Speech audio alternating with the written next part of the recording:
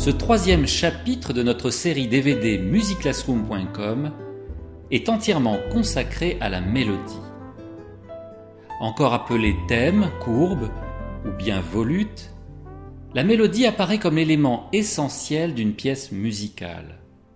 C'est en effet elle que l'on retient le plus facilement par l'oreille ou par la mémoire, et elle est la marque de fabrique, la base, l'origine de toute composition musicale.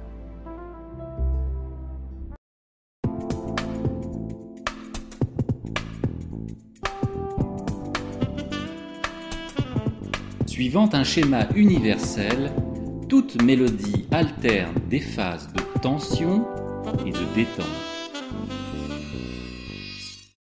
On a remarqué que la plupart des grands thèmes de la musique répondaient à trois phases distinctes dans le déroulement de leur mouvement.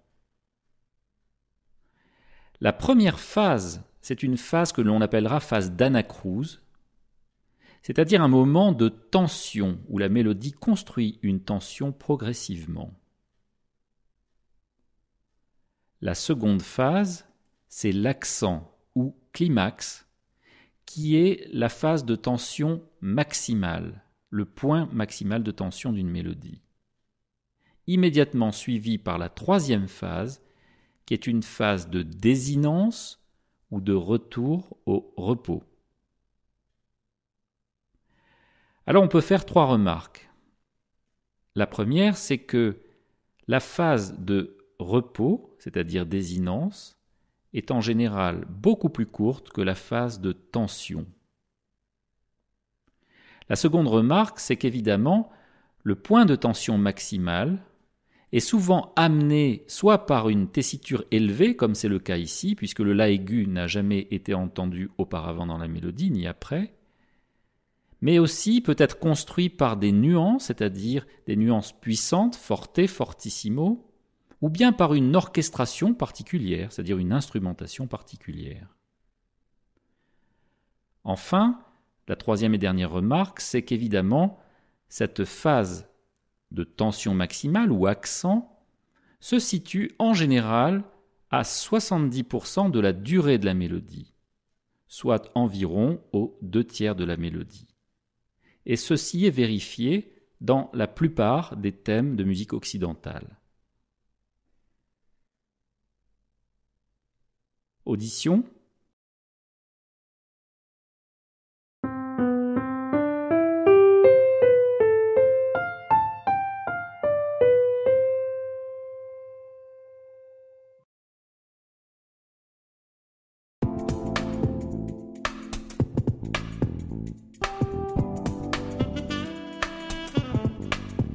Tout comme pour le langage parlé, la mélodie s'exprime en des phrases plus ou moins longues, ponctuées de respiration. Tout comme le langage parlé, la musique possède ses phrases, ses ponctuations, c'est-à-dire tous les éléments qui vont amener un contraste, une respiration.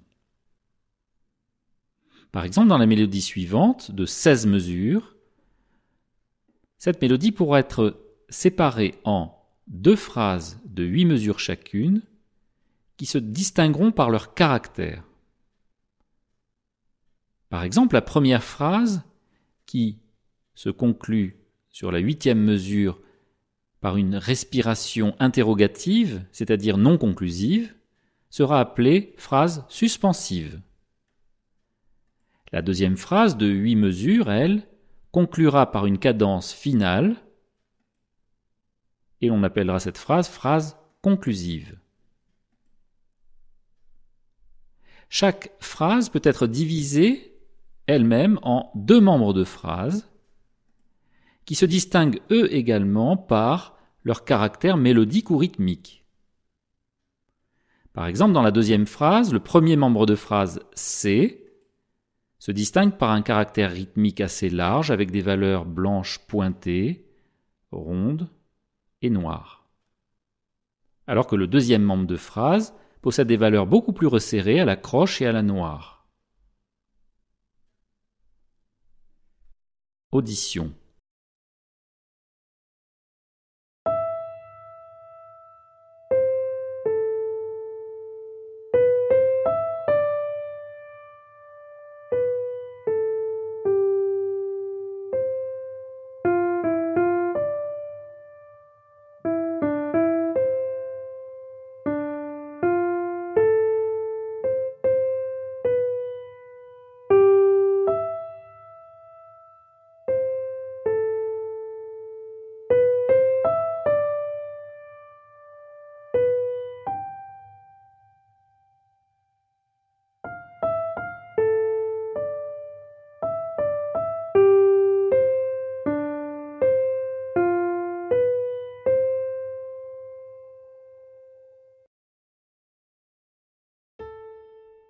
Si ce cours vous intéresse, alors poursuivez-le et commandez dès à présent l'ouvrage complet et son DVD sur la page boutique de notre site internet www.musiclassroom.com, chez vous sous 48 heures en port gratuit.